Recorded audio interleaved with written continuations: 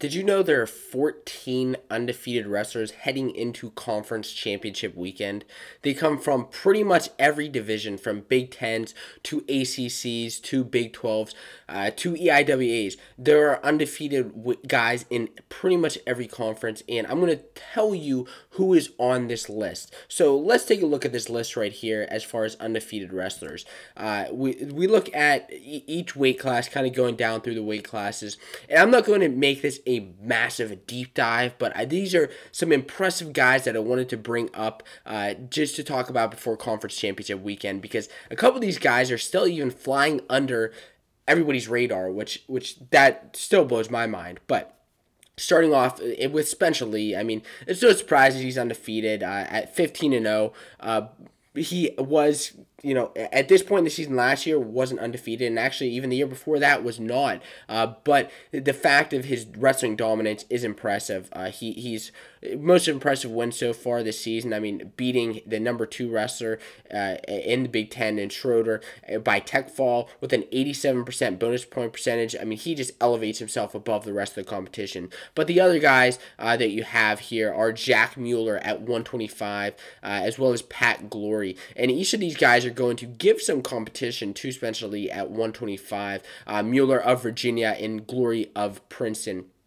Glory so far this season, his most impressive victory is over Nick Piccininni, a 9 to 4 decision. Piccininni of Oklahoma State, of course, uh, being one of the and very impressive wrestlers at 125 pounds. And Mueller, uh, going into last, looking back at last year, was actually undefeated at that point in the season. It was flying under many people's radars uh, and was undefeated going into the national finals. One of the few uh, wrestlers who were undefeated going into the national finals and ended up uh, losing to Spencer Lee. However, uh, he's having an impressive uh, season this season as well. And looking next to Chas Tucker of Cornell, who's 28 and 0 on the season with wins over Tremblay of NC State, Montori Bridges, Todd Small, Sammy Alvarez uh, being some of his most impressive victories. 28 and 0 on the season of, of Chas Tucker from Cornell. Please be looking out for him this season and, and let me know who you are most looking forward to watching and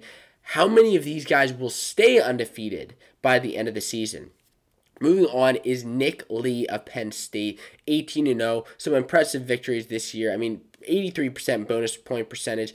Um, beating Luke Pletcher, the number two ranked guy, beating Mitch McKee, uh, Tristan Moran, Chad Red, just some of the top guys in his weight class is Nick Lee at 141. So moving on to 149 is Matt Kolodzik. He is one of the lone undefeated guys at that weight class because at the top you have Brayton Lee, Sammy Sasso, uh, Pat Lugo, who all have kind of wins and losses to each other. Austin O'Connor, uh, all of wins and losses to each other. But Matt Kolodzik, considering the fact that he pulled his red shirt, now he actually kind of came into his own and and, and doesn't have necessarily any notable wins this season yet. Uh, but those those are sure to come, and he could finish the year undefeated. You never know if he if he wins out uh, and wins a national title.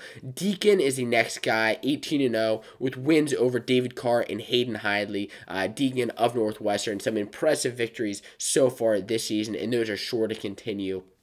Moving on to 165, a couple of guys here. One in Vincenzo Joseph, uh, who's 13 and 0 with his best wins over Ethan Smith, Josh Shields, uh, Isaiah White, Alex Marinelli, of course, being his most impressive victory over the rival who he couldn't quite bridge the gap, but this year he did. And the other guy at 165 is Shane Griffith, flying under some people's radars from Stanford. Is Griffith, uh, the young, the young freshman, is 26 and 0, who has so far this season pinned Ethan Smith of Ohio State. Uh, Southern Scuffle champion, which was one of his most impressive highlights so far this season.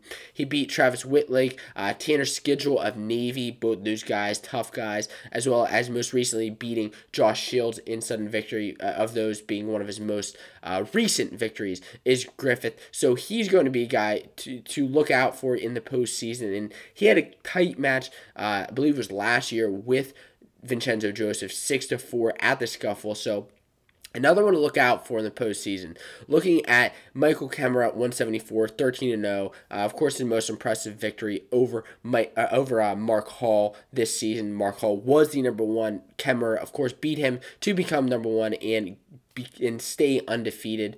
Uh, he has wins over a couple other guys in his weight class as well Skatzka, uh, as well as Labriola and Leidy. Now, 197 is Kollin Moore, who's 24 and 0 and hasn't had the spotlight over the last couple seasons. Uh, last season, especially not because Bo Nickal was at the weight class and he just you know beat Moore continuously. But this is Moore's year. 75% bonus point percentage, 24 0 Moore of Ohio State, uh, and has wins over many, many ranked guys in his weight class.